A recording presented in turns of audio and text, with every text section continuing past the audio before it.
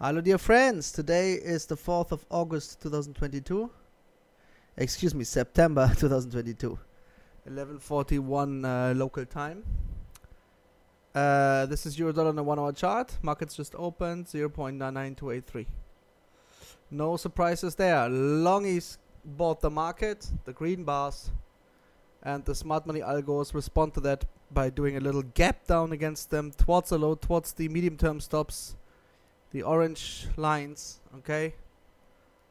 Um, I'm sure many of our traders have were short euro dollar and their targets now get hit.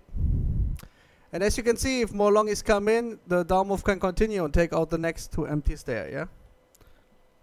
Nothing new. We have seen these things so many times now. It's these updates here become a little bit re repetitive So at the end of the day, you know, it's always similar.